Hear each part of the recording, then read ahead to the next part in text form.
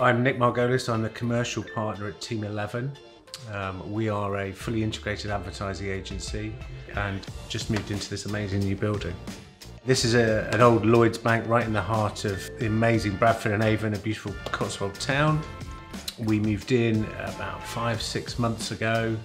Uh, we renamed the building so it's now the Bank of Brilliant Ideas um, and it's home to Team 11.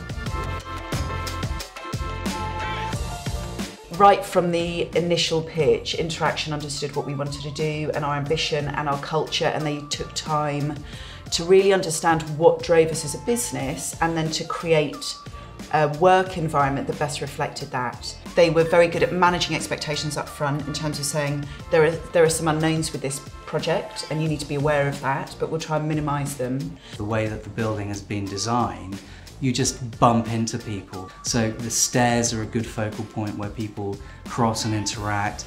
The, the kitchen and the facilities around there help people really interact in a very happenstance way rather than everything having to be planned and being booked into a meeting room.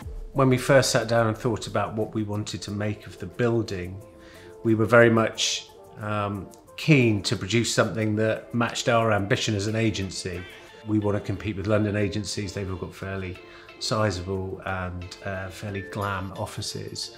And we wanted to try very hard to show that you didn't have to be in London to have an environment like that. The key thing about the brief that we gave to Interaction was to create the best environment that allowed us to attract the best people to do their best work. Deliberately, we've designed the, the place where you can have the collaboration and the connection and build the culture and those, those interactions with people day to day.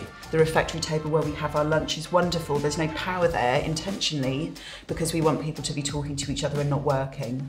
There are little clocks in the kitchen on the boardroom floor with 1111 because that's my lucky number.